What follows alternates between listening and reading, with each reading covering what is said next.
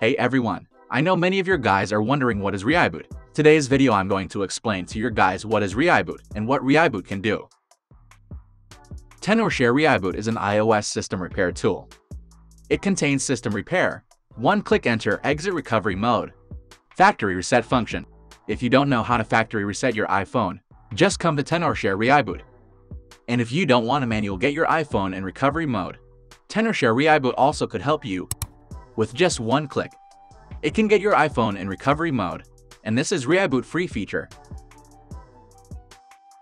With another one click, it can get your iPhone out of recovery mode. Strongly recommend you give it a try. If you are an Apple device user, I believe that you must been through the problems like your device is stuck on Apple logo during the upgrade or restore process. Your iPhone stays on black screen state, or your iPhone stuck on loading screen won't end.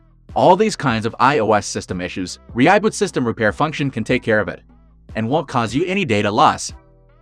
Fortunately, I get an iPhone that is stuck on recovery mode, or you prefer to call it restore screen, and an iPhone stuck on Apple logo.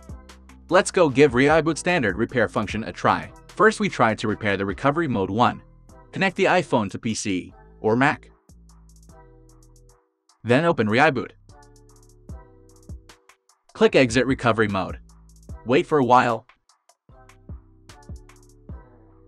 Then you can see your iPhone is out of recovery mode. What a simple and efficient way. Now let's fix the Apple logo one. Connect the iPhone to PC or Mac. Then open ReiBoot. Click the green Start button, then click Standard Repair. Here it will require download match firmware to repair your iPhone. Click it. Wait for the download complete. Usually it won't take long. It depends on your network condition. When it finished, click the Start Repair option. The repair process will take some time. You need to be patient and wait for it. And do not disconnect your iPhone during the process, or it won't work. Then you can see my iPhone is no longer stuck on Apple logo, and I can access it without any problem. This is what ReiBoot can do. All I showing is a bit of issue. Basically everything about iOS system issues, you can come and try to use ReiBoot fix the issue. That's all about today's video. Hopefully you already know something about ReiBoot.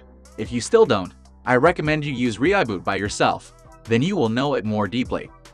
If you have any problems with ReiBoot, welcome to contact us at tenorshare.com. We will be there for your guys. See your guys next time. Goodbye.